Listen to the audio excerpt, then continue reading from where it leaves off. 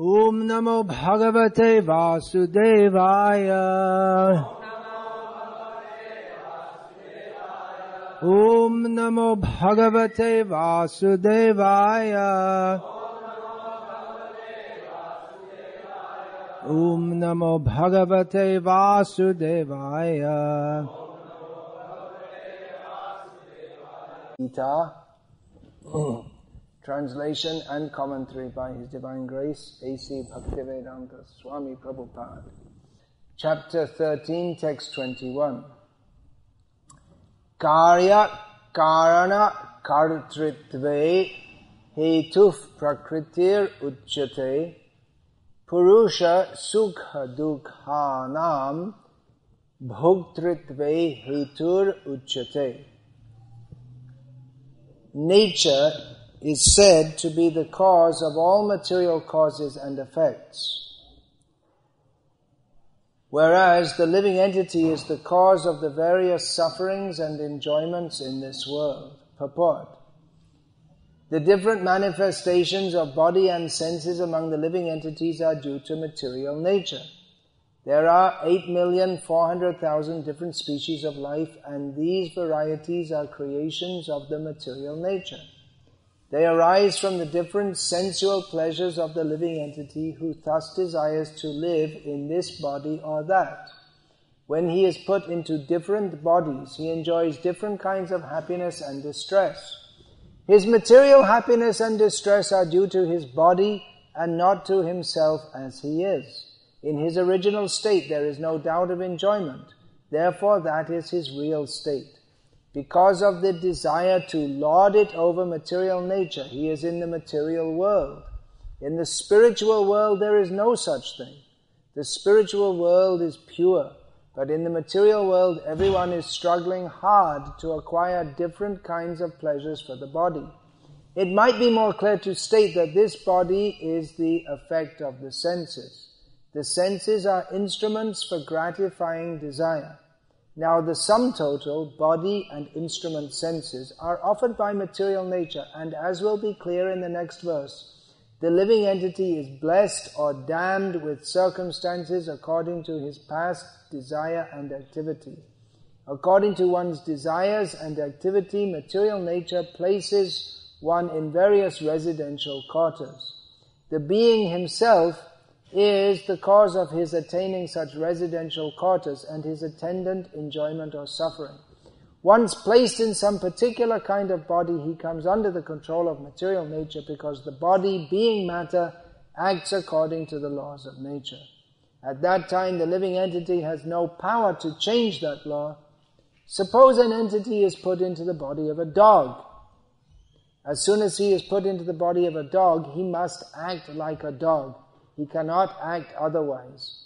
And if the living entity is put into the body of a hog, he cannot act otherwise. Sorry. And if the living entity is put into the body of a hog, then he is forced to eat stool and act like a hog. Similarly, if the living entity is put into the body of a demigod, he must act according to his body. This is the law of nature, but in all circumstances, the super soul is with the individual soul, that is explained in the Vedas, Mundaka Upanishad, as follows, Dva Suparna Sayuja Sakhayaha. The Supreme Lord is so kind upon the living entity that he always accompanies the individual soul and in all circumstances is, is present as the super soul or Paramatma. If you are listening carefully, which I hope you were, because it's not very easy to understand this subject matter. You would have heard that the discussion in this verse of Bhagavad Gita is about sukha and dukkha, happiness and distress. Laguna Beach is a place of happiness. Is it not? People come here to be happy. Everyone's happy in Laguna Beach, isn't it? What a joke. What a big joke. You should be happy. Uh, because the sun's always shining. That's another joke. Well, it's supposed to. Uh, the weather's nice, people are rich, people are good looking, there's good beach, surfing, everything's pleasant here. Not happy? Try Hawaii. No. So, well, generally it's thought that this is a prestigious area and a good place to live, but the nature of the material world is dukhalayam, as stated elsewhere here in Bhagavad Gita. The very nature of this world is that it is full of suffering. However, as we read in this purport, in the spiritual world, there is no such thing, no such thing as suffering. Everything there is happiness.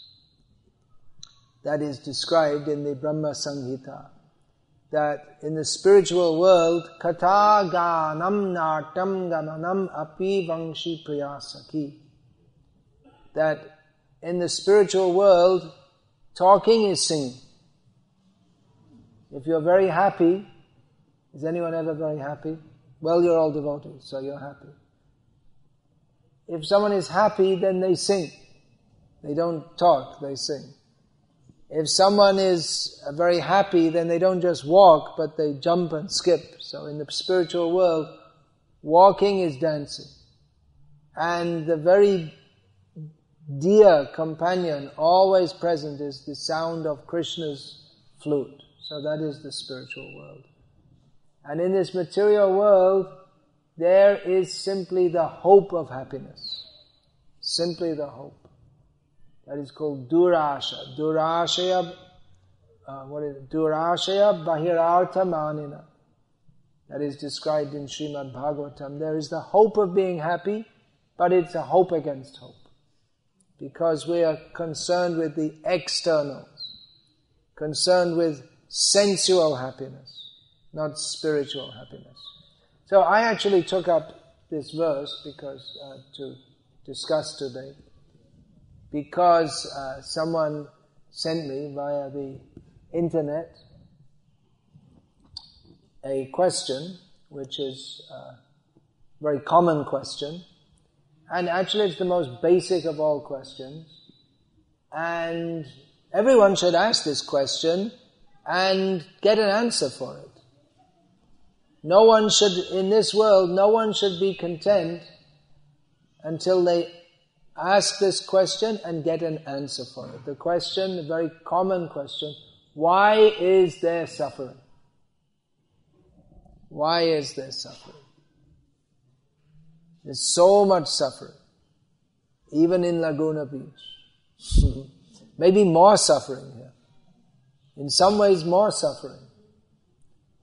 What is suffering? Well, there's all kinds of, there's, there are, well, in Bhagavad Gita, Krishna states, Janma Mrityu Jara birth, death, old age, and disease. These are four basic kinds of suffering that we see all around us. Apart from that, there's there are, there's mental suffering, there's uh, traffic fines, there cars that don't work, relationships that don't work, simply suffering in the material world. So there are, there's gross forms of suffering, just like um, people come on holiday to Southern California. They don't go, you don't find of anyone going on holiday to Afghanistan or Iraq because these are places which at the present time are places of uh, exacerbated suffering, more suffering. So there's gross suffering, but there's also mental suffering. And we often find that people who have high expectations of, of enjoyment, they suffer more. I was, as was just stated, I spent approximately 10 years in and out of Bangladesh. A few years ago, the London School of Economics did a World Happiness Survey. They asked different questions to people and they found out that the most happy people in the world are in Bangladesh, which was called a basket case in the 1970s by the American ambassador to Bangladesh. Basket case means that however much money you throw in, it's, it's a economically hopeless situation. so, uh, people that are happy, well, what are the reasons for that? That could be analyzed. One is that you'll hardly find an atheist in that country. You won't find. Or if they are, they're closet atheists. Because it's, it's really not socially acceptable to be an atheist. But another reason is that uh, people, they don't have very high expectations of getting ahead, being a success, making lots of money. They're, so they're content with what they have. They tend to be content, and they tend to be stoic also. I mean, when there's one physical disaster after another, then and you just, well, you just accept it. I read an article a few months ago about uh, soldiers from America who, uh, after being in Afghanistan and Iraq, and especially if they got some injury, like if their hand got blown off, uh, they're very, very difficult to adjust to the world when they came back. Because they, there's so much, they've seen so much suffering. So uh, after I read that, I asked a devotee I know who's an ex-Indian Army officer, and he'd seen lots of action like Operation Blue Star. Those of you who are a little older know what that the anyway. The, uh, getting out the Sikh terrorists from the uh, Golden Temple in Amritsar and destroying the Golden Temple in the in the process. It was a very heavy operation. he'd seen lots of action. So I asked him if, I, I told him, I read this article, how traumatized American soldiers tend to be after seeing so, and being involved in so much suffering, and in many cases, uh, suffering severe lifelong injuries. Uh, but, and I expect, the answer I got was the answer I expected, because I didn't, I've seen many Indian soldiers, Indian, uh, ex-Indian army personnel, and they don't seem to be traumatized. So I asked him, is it common that they get people? He said, no, they don't get traumatized. So I asked him, what was the reason for that? And he said, it's a different attitude to life. Different attitude to life. That uh, when you when you don't take the goal of life to be simply enjoyment, then you don't suffer so much. If we accept that there is God and we are here due to our activities that we have performed and that we have, we have to suffer or enjoy according to our previous activities and that ultimately everything is for the good. Ultimately, God cares for us and is looking after us. With that basic understanding, people don't suffer very much. But if we're thinking, I have to enjoy, then we'll always suffer. Laguna Beach is a setup for suffering. Isn't it?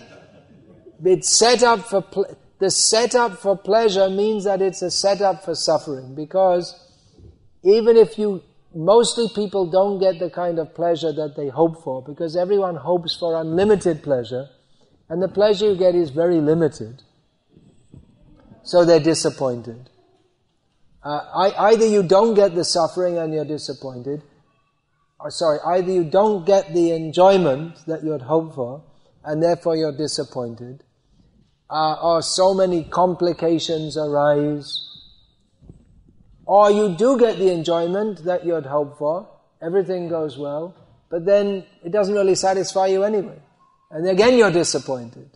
So either way, it's just a setup for suffering. The attempt to enjoy this world means that one must be frustrated.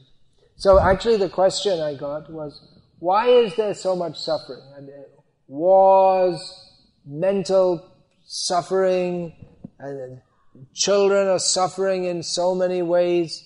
Why doesn't God intervene? Why doesn't He do something? He just by, if God is there and in God we trust, we trust He's there, then why doesn't He do something? Why doesn't He just flip a switch and, or He doesn't even have to flip a switch, just by His desire, He can change all that. Why is there so much suffering? Well, actually God does do something, but He speaks Bhagavad Gita. That's what He does. But we have to listen and take the, the message. We have to do something also. Why are we in this position of suffering? Here in this verse it's stated, Purusha sukha dukhanam bhoktritve hetur uchyate. The person, the bhokta, this means the enjoyer or literally the consumer. The person who has the attitude that let me consume everything that I can in this world, by that very attitude, he causes his enjoyment and distress within it. But actually the enjoyment in this world is distress and this, the distress is also distress. Even those who think they're enjoying, actually they're just, everyone in this world is suffering. So the very attitude of being an enjoyer of this world leads one to be incarcerated in it and leads one to suffer within it.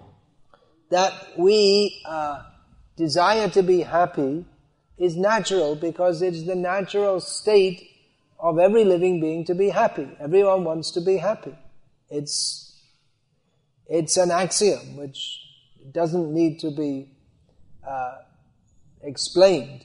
Even some people, they may deliberately act in a way to cause their own distress, but that also in a perverted way, they enjoy that. Like someone may uh, deliberate, or, they may uh, desire to be sick. What's that called? There's a word for that, some psycholo- psychological hypochondria. Now that's when you always think you're sick. There's another term for that. Anyway, some people always desire to be sick so that they can, in a, in a perverse kind of way, enjoy that others will uh, pity them or they'll, uh, it, it's like an excuse to face the challenges of the world. So uh, they, enjoy, they, they may enjoy being in a suffering condition. A masochist might deliberately inflict pain on himself, but they do that, they do that because they find some kind of pleasure in it, however perverse. So, uh, the reason there is, why are we suffering in this world? Whose fault is it? Is it God's fault? Why doesn't He step in and wave a magic wand and make everything perfect and beautiful? Actually, everything is perfect and beautiful. But there are, that is the spiritual world, but there are some conditions to live there. Because if you send a, a, a bunch of perverse people to the spiritual world, people that inflict suffering on others, then the, the natural happiness of the spiritual world will be disturbed. If you go to the spiritual world, which is full of Krishna's cows, and you think, let me kill some and make some hamburgers, then uh, you're going to disturb the condition there. So there, there are some conditions to live in the spiritual world one has to be free of envy. Why is there suffering in this world? Well, everyone is contributing to everyone else's suffering, just like that example. If we like to eat meat and slaughter animals, then we may be, uh, we may feel some happiness from it. It's not actually happiness, that's sensual pleasure. That's a great mistake to to uh, consider sensual pleasure to be happiness. It's not actual happiness. But, but that little pleasure we get is gained by the suffering of others. So, we have to suffer karmic reactions for that. If we cause suffering to others, then the law of the world is that we have to suffer. And it becomes a great complex uh, reaction, very complex series of reactions. How one person is causing suffering to another, and therefore they have to suffer. Someone else causes this, because someone has a desire, perverse desire to cause suffering to others, they cause suffering to someone who deserves to that suffering. Becomes very, very complex. But we ourselves, it should be understood that we ourselves are the cause of suffering in this world. Because we desire to enjoy making ourselves the enjoyer and exploiting others. In this world, enjoyment is at, by exploiting the resources of this world. So, uh, that is illegal on our part or improper on our part because we are meant to serve Krishna. Krishna is the supreme enjoyer. He is actually the bhokta or the consumer of everyone else. He doesn't consume in, in the sense of destroying, but Krishna is that person to whom naturally all offerings should be made and Krishna only is capable of reciprocating in such a way that everyone is satisfied. If we offer everything to Krishna, then everyone becomes satisfied. The example is given, Yatataror mula bhujopashaka. The example is given of putting water at the root of a tree.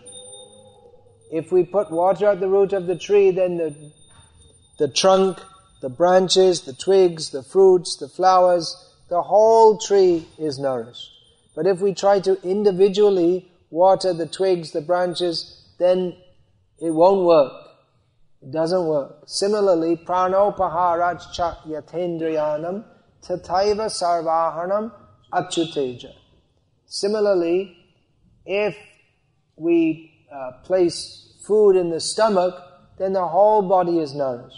But if we try to individually nourish, put some injection in the ear, put some injection in the eye, that sounds very dangerous, doesn't it? Then we won't, uh, we won't nourish that.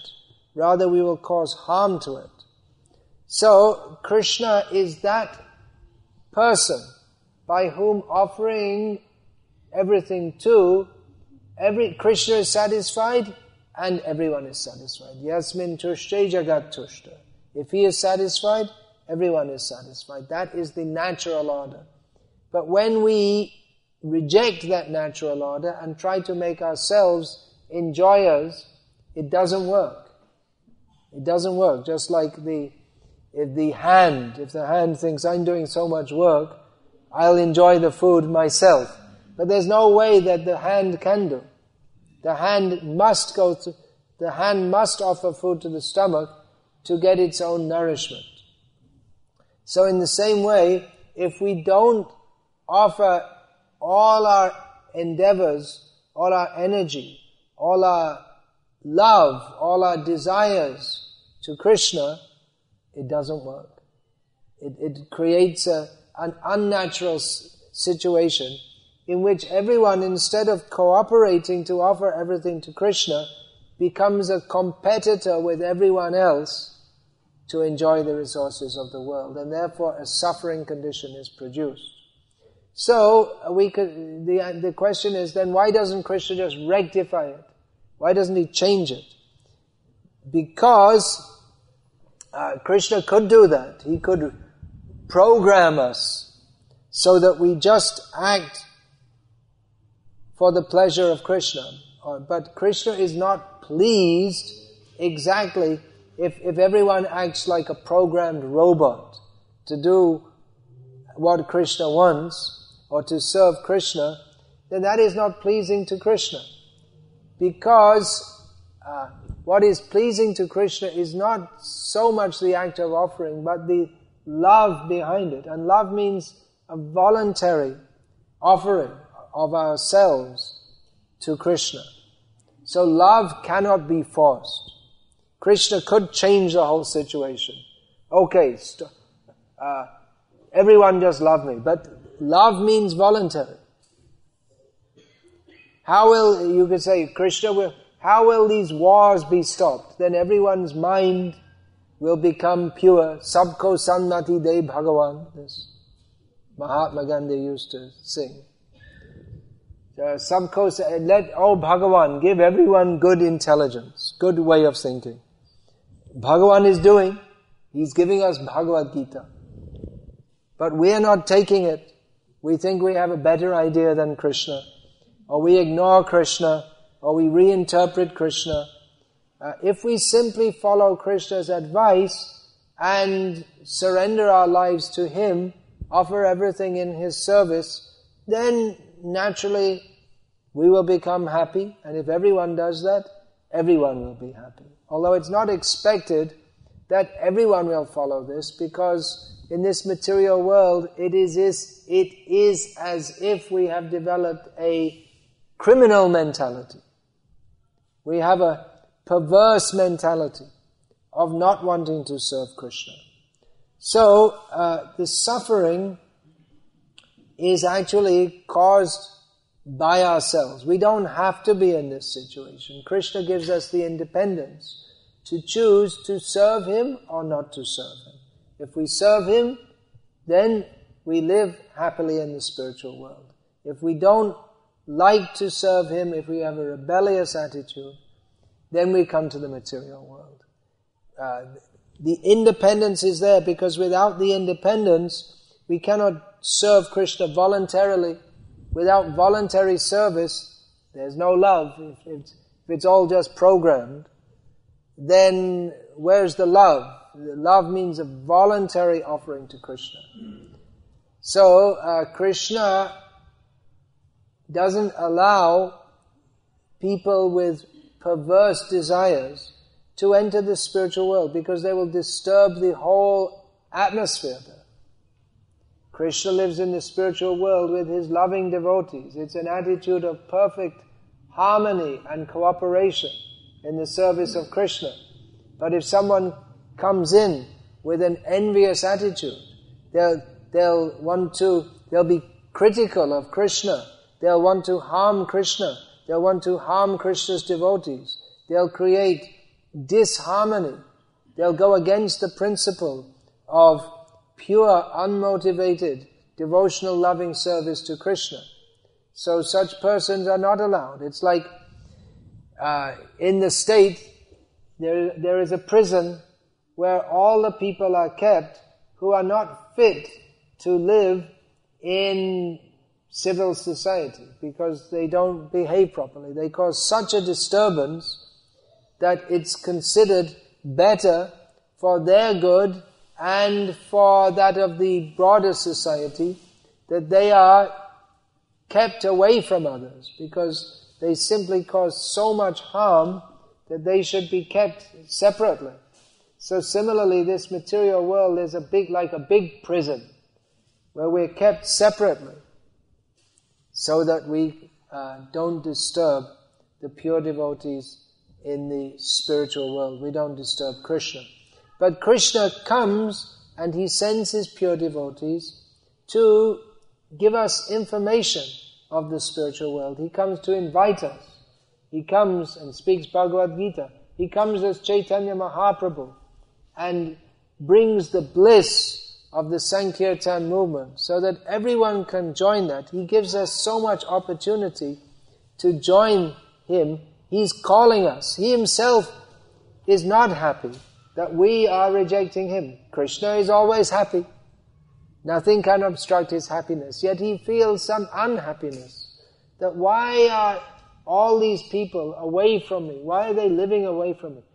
We don't have to remain in this situation. We can come out of it. There doesn't have to be suffering. But we have conjointly created this situation.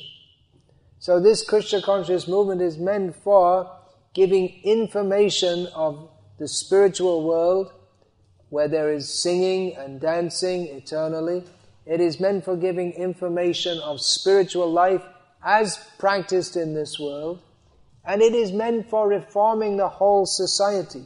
The whole world at the present time is extremely confused, extremely distressed, and appears to be on the verge of uh, various disasters in various ways.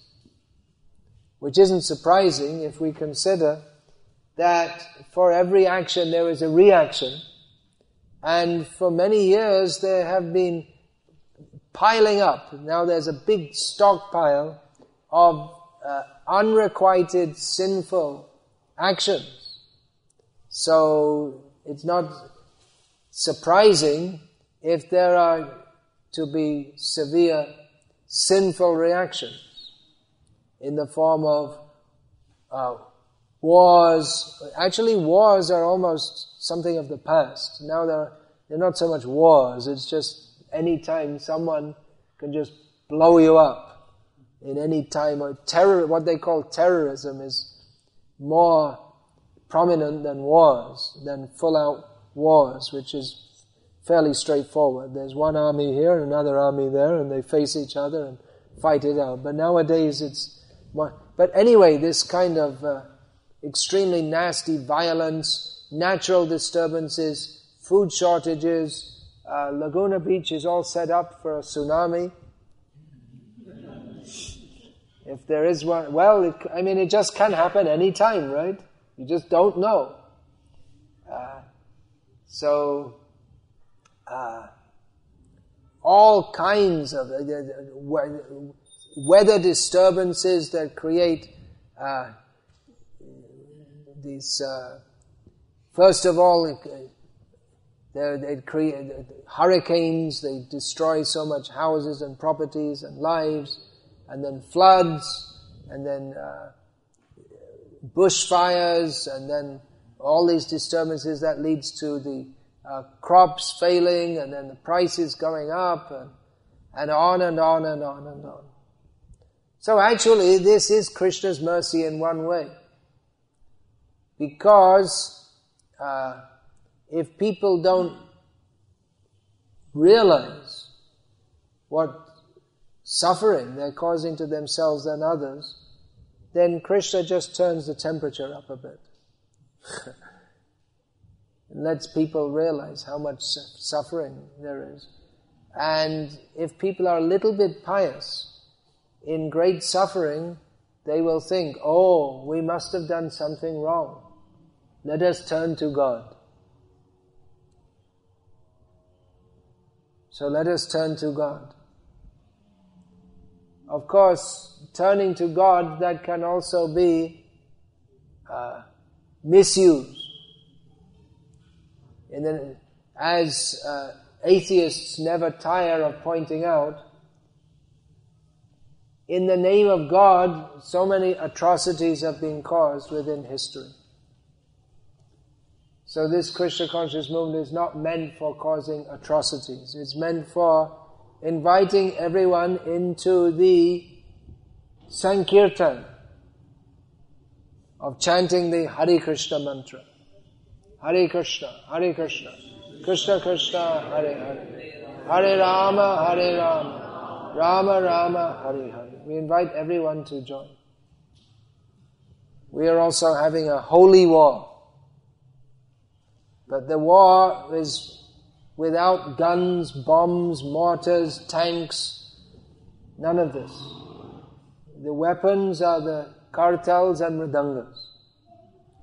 And going town to town, village to village, all over the world, and inviting everyone to join in the Sankirtan of Chaitanya Mahaprabhu. And also giving knowledge, giving proper knowledge why we are suffering in this world, how we can come out from it, that there is God, and God actually loves us. His name is Krishna.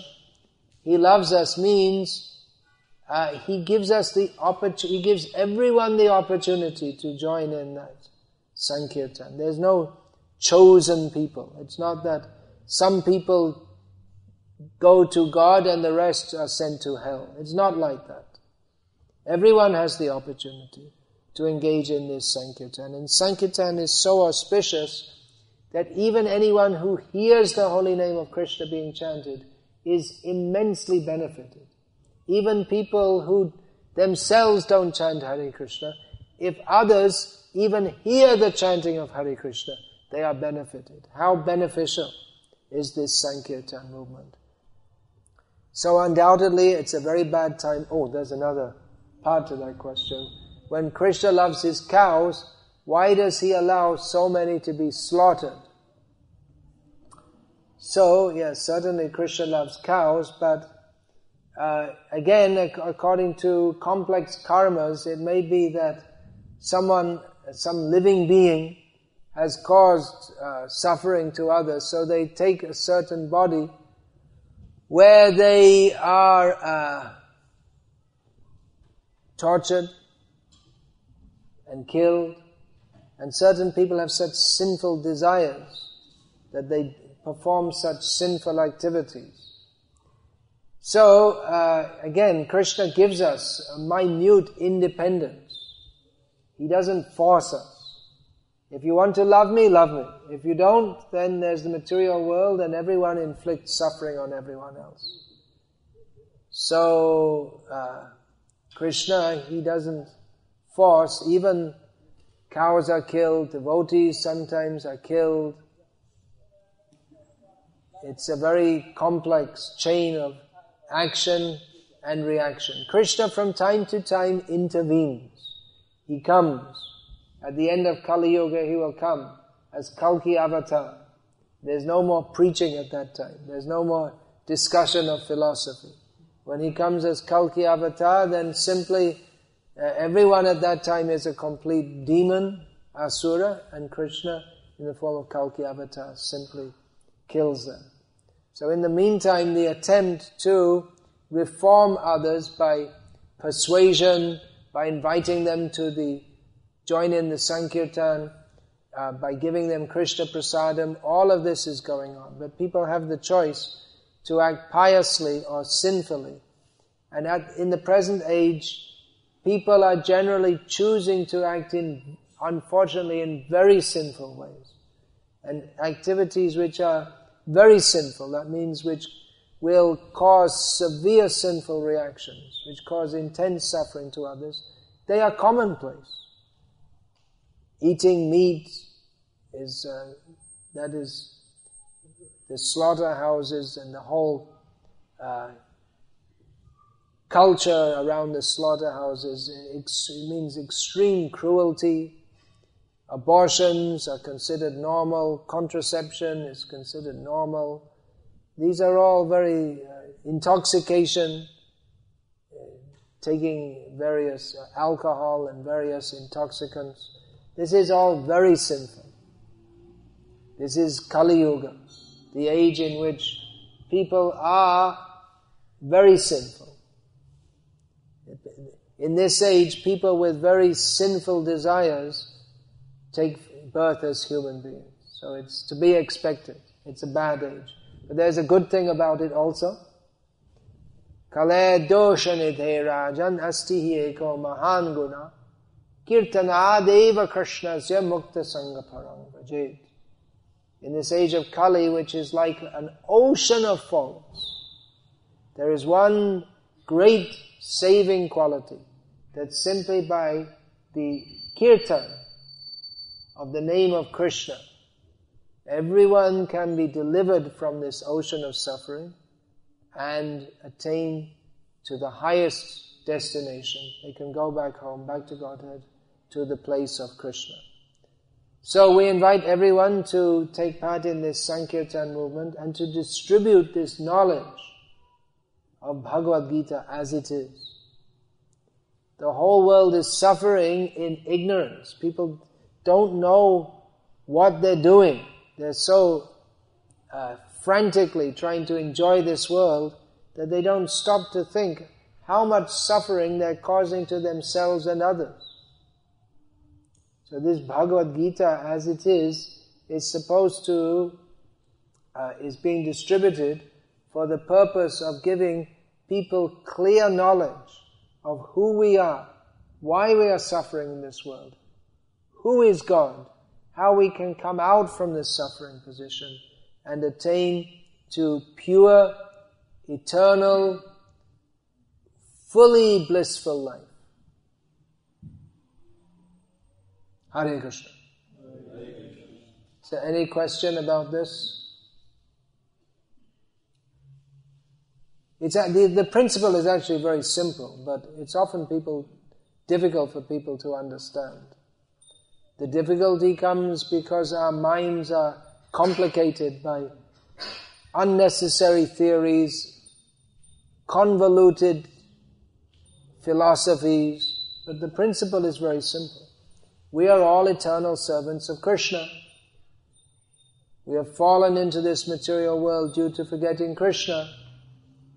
We, are, we suffer and cause others to suffer by our perverted desires to exploit this material world. If we simply rectify our consciousness and agree to serve Krishna as He directs us, then we become free from the contaminations of this material world and become eligible to re-enter the spiritual world. Very simple. Hare Krishna. So, yes, any question, please?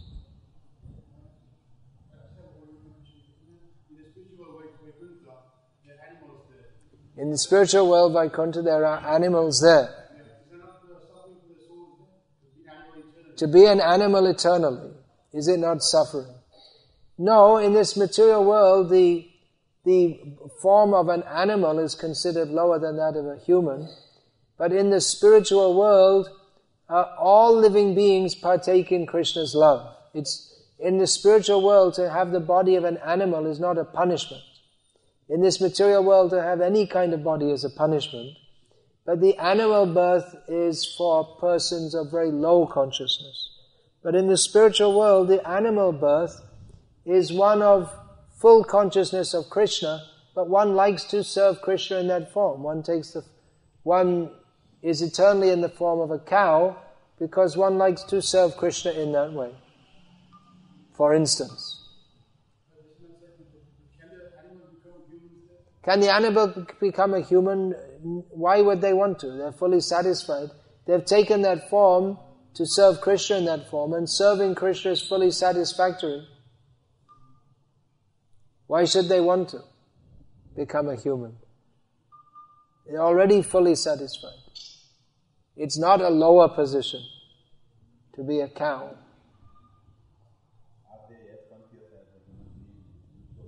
Sorry? Are the animals as much conscious? Yes, full consciousness. Sat Chit Ananda. Full existence, full consciousness, and full bliss for everyone. In the spiritual world, the animals are blissful, the plants are blissful, the air is blissful, the water is blissful, Krishna is blissful, the flute is blissful, the trees are blissful. Humans, animals, everyone. That, that is, therefore that is called the Chit Jagat, Chij Jagat, or Chinmay Jagat. Everything there is fully conscious. There's no dullness or, or uh, uh, or uh, and no one is deprived of the full bliss of Krishna consciousness. It's a lot better place than Laguna Beach.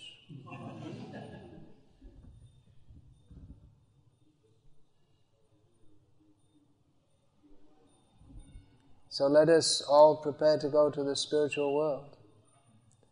And this temple is a replica of the spiritual world inasmuch as the only purpose here is to serve Krishna. So here there should be constant hearing about Krishna, chanting about Krishna, serving Krishna in various ways by feeding him with all kinds of nice foods that he likes to eat. Everything for the pleasure of Krishna. That is the meaning of a temple of Krishna. Then people can come and they can enter the spiritual world by joining this association.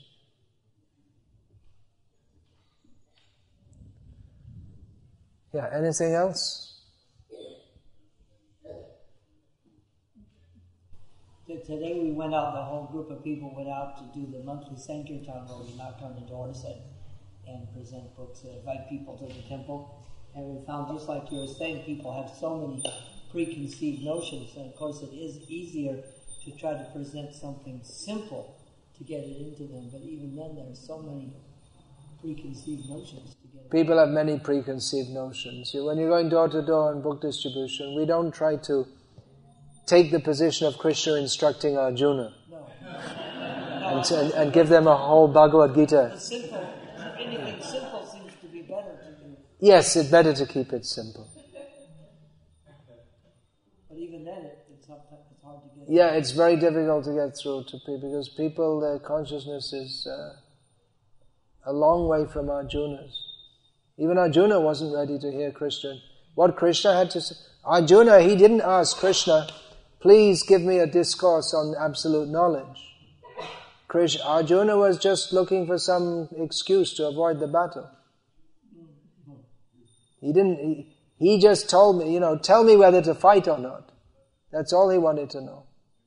He didn't ask for a discourse. And Krishna slapped him verbally and told him, You're a fool. Ashochanan vashocha strong pragyavadang chabhashase. Gatasun agatasun cha nanu shochandi pandita. You're speaking as if, hey, Arjuna, you're speaking like you're a, you're a big scholar. You become a big pundit all of a sudden, but you're a damn fool. You don't know even the most basic point of spiritual knowledge. You're lamenting for that which should not be lamented for. So Krishna verbally slapped him. Arjuna thought, well, I'm being so good and pious and considerate of others. I've become such a saintly person. And Krishna slapped him and told him, you're talking all nonsense. So, you might try that also on distribution. Whatever works.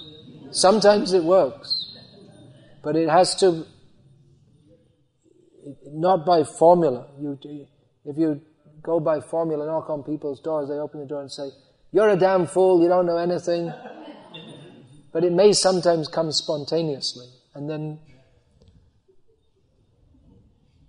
it, then it may, may have that effect.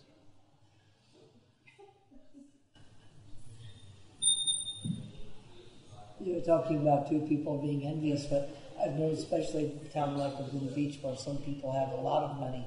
So it seems that the people who have a lot of money, not always, but many times, are much more envious and worried that someone may take it or they may pay some, tax than the people who have less. Yeah, that's a commonly noted syndrome. The people who are very rich, they suffer more. They're full of anxiety. Chintama parimayamcha. That's described in Bhagavad Gita. Persons of demoniac mentality, they're always in anxiety. Someone in anxiety, someone will take the money away. Uh, this uh, previously the most the richest man in the world lived just north of Los Angeles. Paul Getty was his name, something like that. Yeah. Yeah, oil billionaire. In those days, to be a billionaire was something really big. Still is. So then his grandson was kidnapped for a ransom, and then he didn't pay up the bill quick enough, so he got. The, they sent the ear of his grandson. So so much money, so much prestige, but had to suffer. He had to suffer. He couldn't avoid. So actually.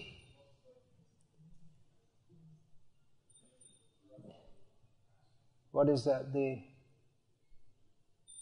that's stated in Bhagavatam. Nairasha Paramasukham.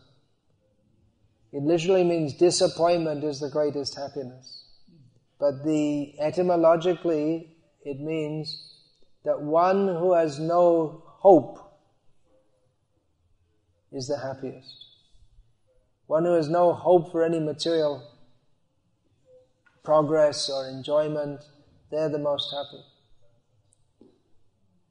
Material desire is the cause of suffering.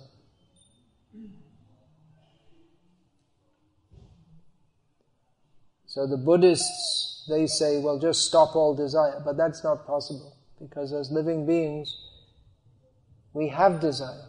We, we, we're full of desires, but we have to purify the desires.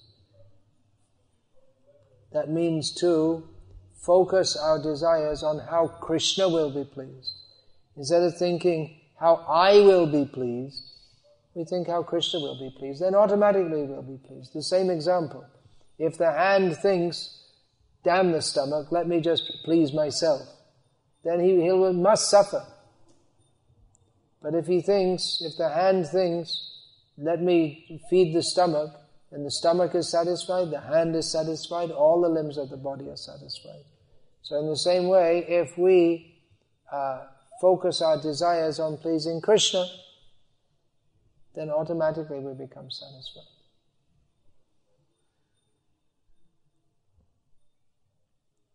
Anything else?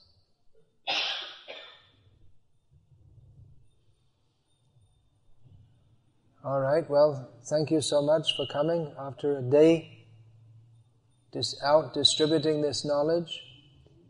This question is something that people may often ask you. Why is there suffering? Actually, the Pope was recently on TV, the first time a Pope had a TV interview. And there were questions sent to him. So many of the questions were, why is there suffering in this world? He couldn't answer it. He, his answer was, we cannot know. which is an improvement on the old line, which is because someone a long time ago ate an apple. So I guess, I guess it's an improvement. But we can say, we can say, because we have the knowledge that Srila Prabhupada kindly conveyed to us, coming in disciplic succession from Krishna. Purusha sukha dukhanam bhoktritve Because we have the attitude of wanting to enjoy this world, therefore we have to, we, we create our own so-called happiness and distress. But actually we have nothing to do with this world. When we realize that I don't belong here, I belong at Krishna's lotus feet. I'm meant for serving Krishna. Then automatically, all suffering ends. Jeev Krishna Das bishas koraleta ardukhanai.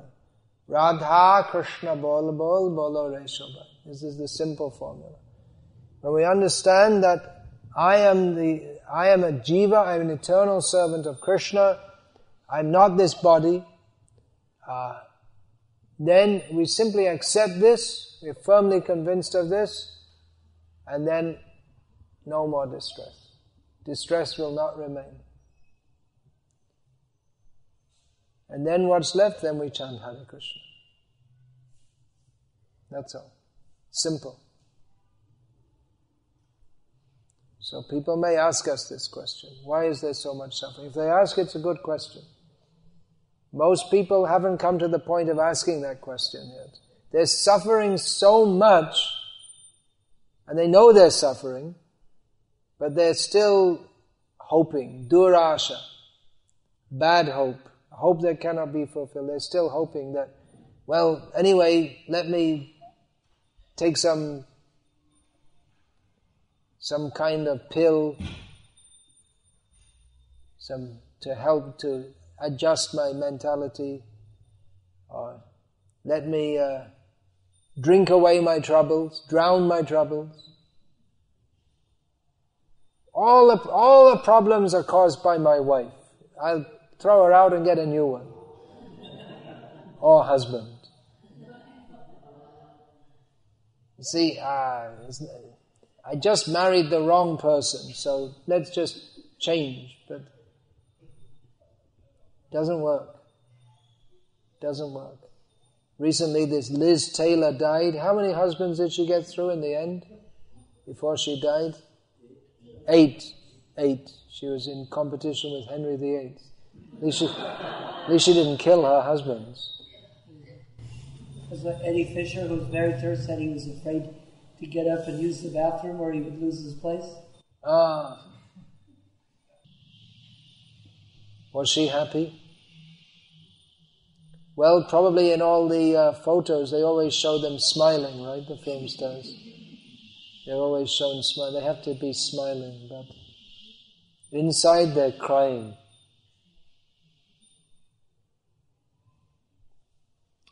Hare Krishna, Hare Krishna, Krishna Krishna, Hare Hare. Hare Rama, Hare Rama, Rama Rama, Hare Hare. And externally Chaitanya Mahaprabhu is crying, but internally it's all bliss. In the material world, happiness and distress, it's both distress. And in the spiritual world, happiness